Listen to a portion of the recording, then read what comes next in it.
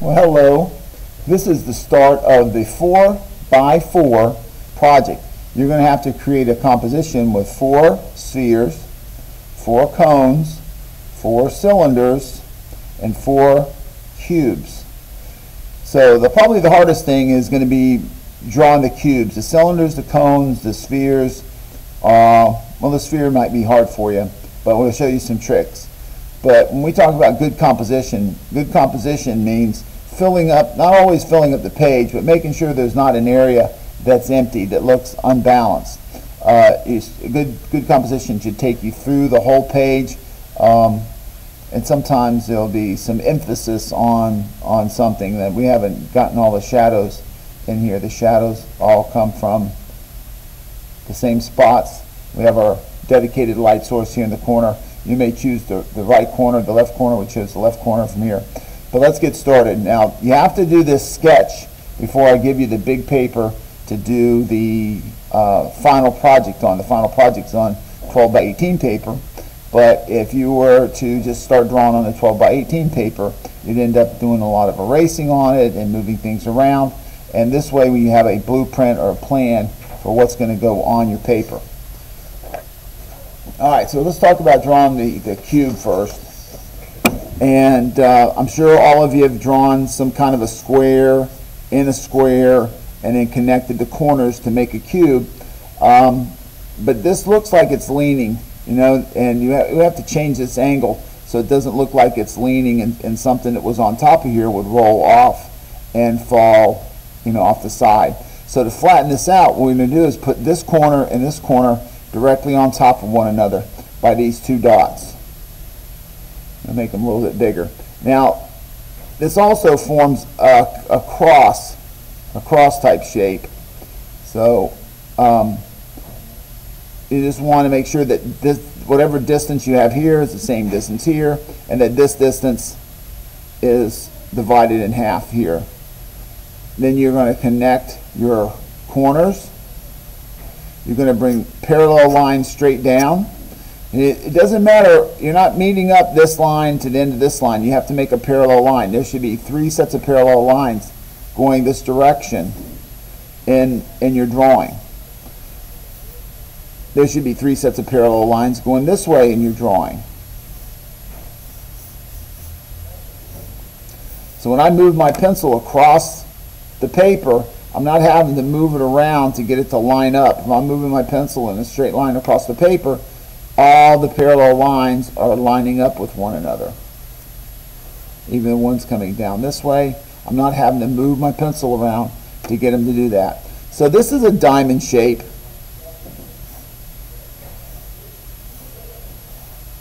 And this is a diamond shape, and I did it without drawing all this stuff here. So if you want to practice drawing just a diamond shape, but you can see that this shape flows a lot easier and looks a little flatter. Now if this looks edge looks a little high, then you bring that down and it flattens out.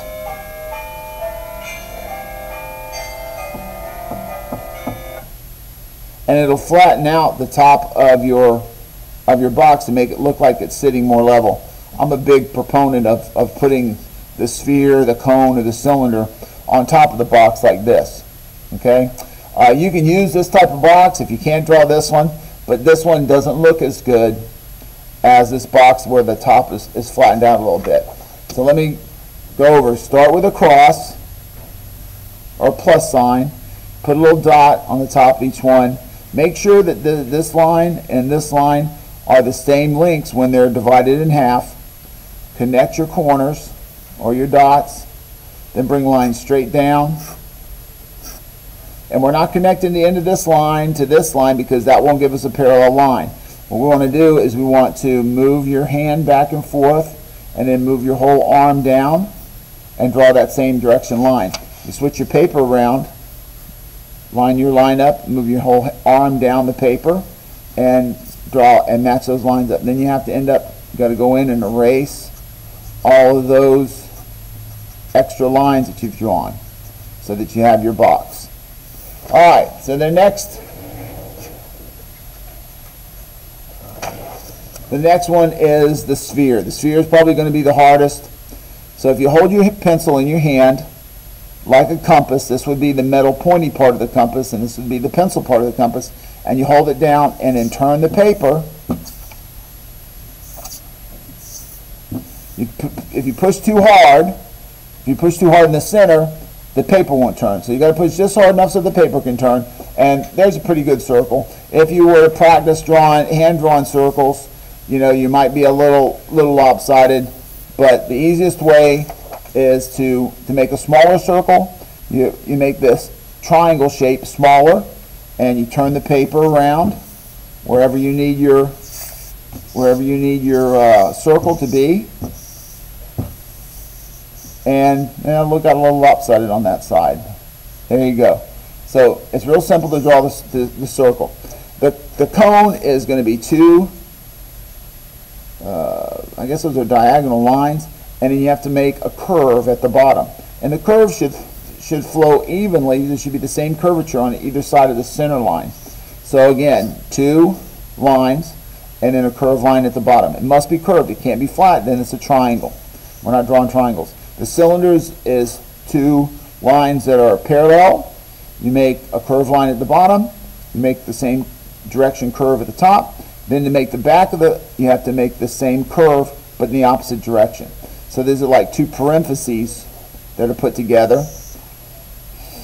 So two straight lines down and a curve, a curved line at the bottom, a curved line at the top, and a, curve, a second curved line at the top that goes the opposite direction.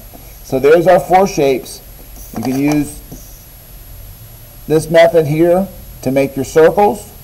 You can hand draw your circles. You can draw your, your cylinders with this curve. And you can draw your cones with this curve. You can draw your boxes with a diamond shape All right, so I've got some, some uh, shapes here now, and now I'm going to go ahead and finish turning this into a 4x4 sketch. So we want to put a, another cylinder with that ball sticking up on that cylinder. And what we're doing is we're adding another layer of value, another layer, not value, but another uh, layer of um, illusion when we make these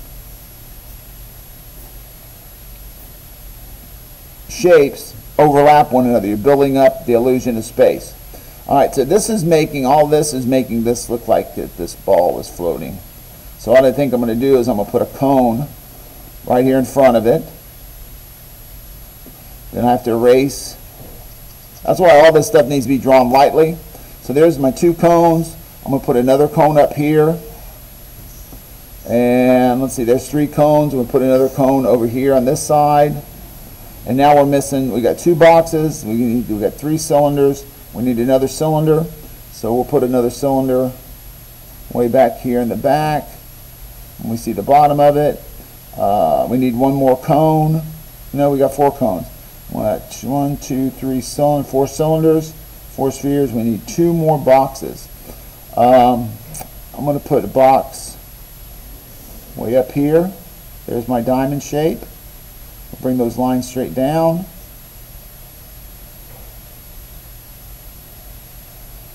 And that puts that box back behind that box. There's my four boxes. One, two, three. We need one more box. Uh, one, two, three. We got one more box. Let's put a box right over here. Here's my diamond shape.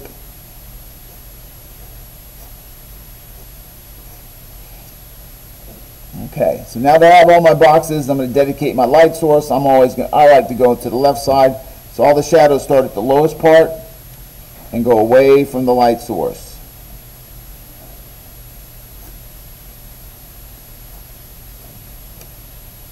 And some of the items won't have a shadow because it's blocked out by the other items. Like you don't see the shadow for this box or this box because they're behind other boxes.